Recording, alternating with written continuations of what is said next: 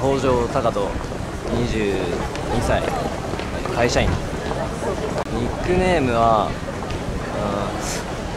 うん、たまにタカちゃんとか恥ずかしかったことえっ、ー、とバス降りるときにちょっと焦げそうになった嬉しかったことえ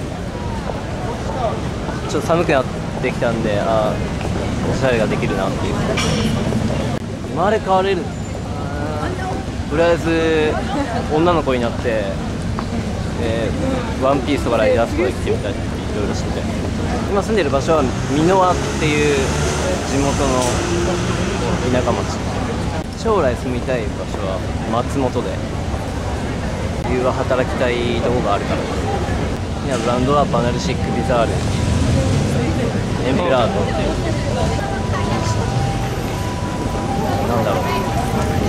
自分にパッとした合うものっていうなんだろうちょっとそういうわからないと思うんです。けどもう全部が綺麗です。えー、お疲れ様です。えー、ありがとうございました。